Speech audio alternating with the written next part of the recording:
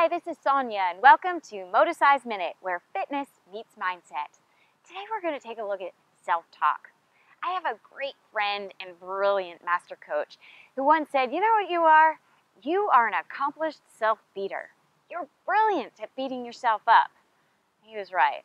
And don't we all do that sometimes? Wouldn't it be great if we took that same amount of time and energy and words to build ourselves up rather than breaking ourselves down? And what would be possible if we did? So moving into plank, let's look at all those great things about you. We're going to bring our knees to our elbows. You'll be surprised. The more great things you come up about yourself, the easier this exercise will be. so start with something that you love about yourself.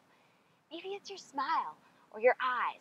And if you're saying nothing, you're wrong. Dig deeper. What do other people say are great about you? You're funny. You're smart. You're so organized. What else? Two more. Come up with some good ones. Excellent. You can keep on going and take that challenge on. This whole week, build yourself up with positive self talk and see what's possible. Join us next time for Moticise Minute.